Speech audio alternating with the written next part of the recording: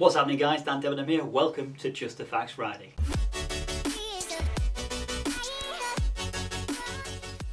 So in this episode, we're looking at how to create a tilt shift inside Premiere Pro. Really quick and really, really interesting effect that gets everything looking like it's a little bit like a model. And uh, there are a few simple steps to do to make this work. So let's jump into Premiere Pro right now and see how we do it. So we've got our video into Premiere Pro and we've got it sat on our timeline. So the first thing that we're going to need to do is we're going to need to drag our video up into video 2 to the slot 2 um, track of our timeline uh, and that is so that we can add a uh, effect underneath the video.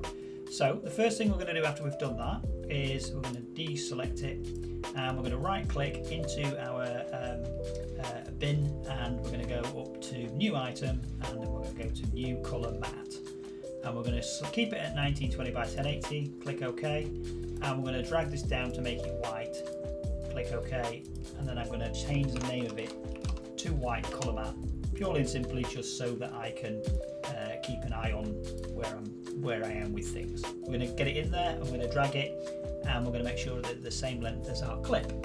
We're going to then highlight that, right click on it, and we're going to nest it. I'm going to call this blur uh, matte.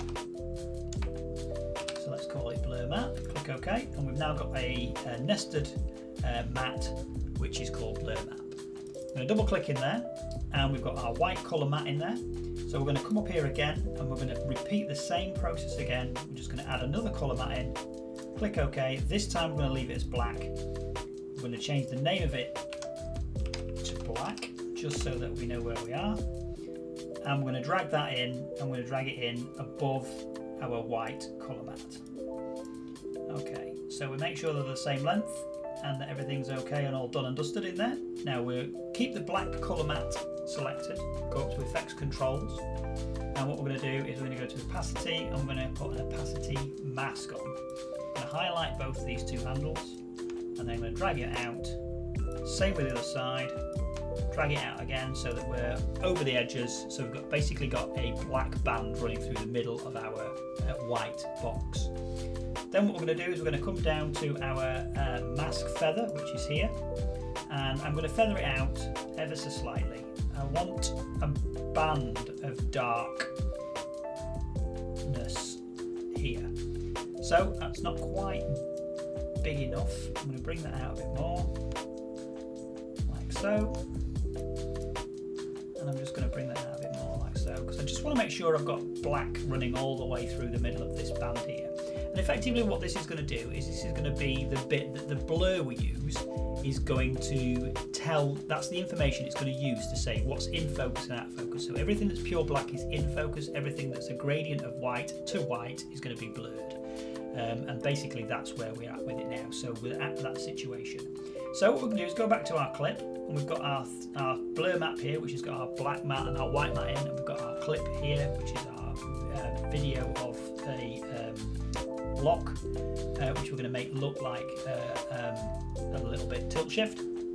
So what we're going to do is we're going to select our clip, we're going to come across to our uh, bin, go across to effects and we're going to type in compound blur or compound. Um, so let's have a look. Here we go, compound blur. We're going to drag that on, and that's going to make everything in there blurred. So the whole clip is now blurred.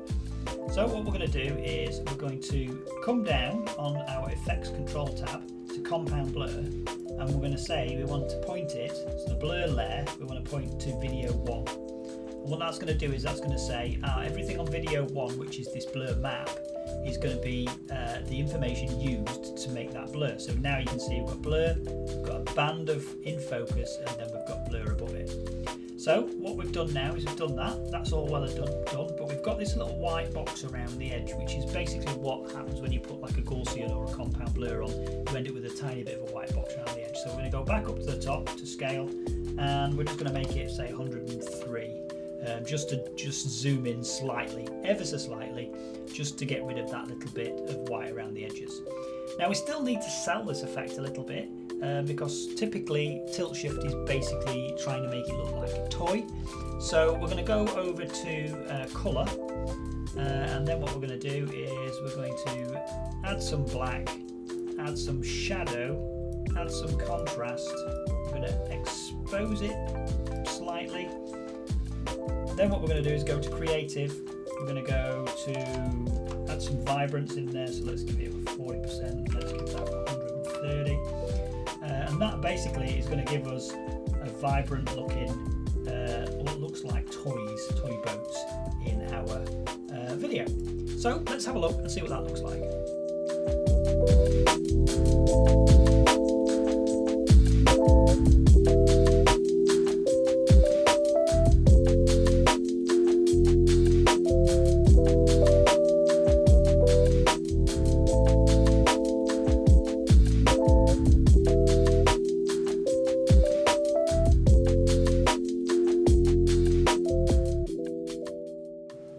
Cool effect. It's a pretty clever thing to do. It makes everything look really, really tiny, um, like you're looking at a model village or you're looking at little toys or whatever.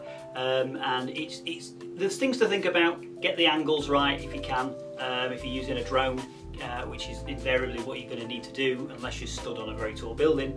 Uh, but get the angles right so that it sort of looks like the right perspective. Um, and then uh, and just use a few simple tricks to give it that sort of blurred sort of look, which makes everything look tiny. That's all there is for today. I hope you did enjoy it. I hope you found it useful. Put it to some use. Uh, it's another effect in your uh, back pocket that you can use to sort of give uh, a bit of emotion and a bit of feel to your uh, projects. So with that, I hope you did find it useful and I'll see you guys in the next one. Peace!